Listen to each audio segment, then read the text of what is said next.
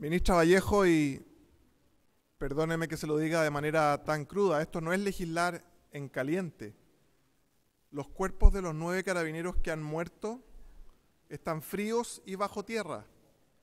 Lo que nosotros no queremos nunca más es que eso ocurre.